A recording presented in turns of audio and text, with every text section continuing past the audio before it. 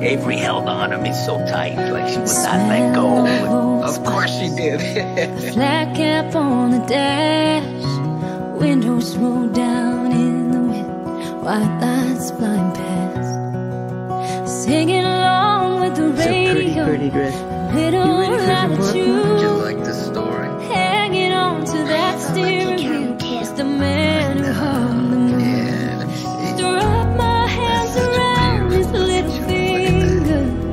And I know you're looking at the bouquet, but you're a little too young. But sooner or later in life, I'm gonna get you a bouquet. Okay, I promise. So let's not give Dad a heart attack on his wedding.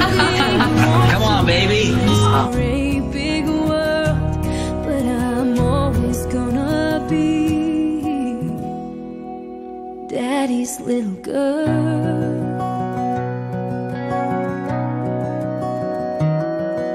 He always used to tell me, don't grow.